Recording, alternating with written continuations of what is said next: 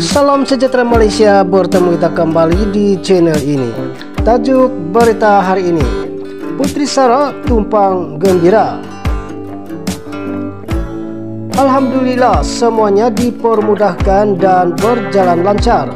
Saya turut gembira apabila mentua pun gembira, kata pelakon Putri Saraliana, 39 tahun.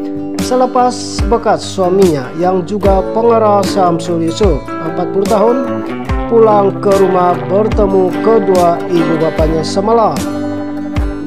Biarpun saya sudah tidak ada apa-apa hubungan dengan Samsul, saya tumpang gembira apabila dia akhirnya pulang ke rumah untuk berjumpa dengan Bapak Datuk dan Mama Datin. Apatah lagi mereka sudah bertahun tak jumpa dengan Samsul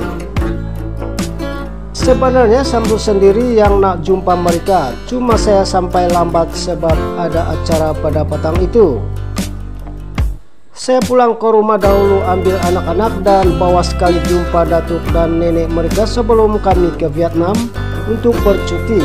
Apa pun semuanya sudah selesai katanya kepada harian Mitro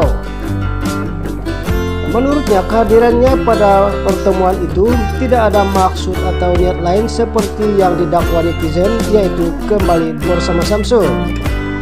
Ingin dijelaskan sehingga detik ini saya tidak terfikir ingin kembali pada Samsul.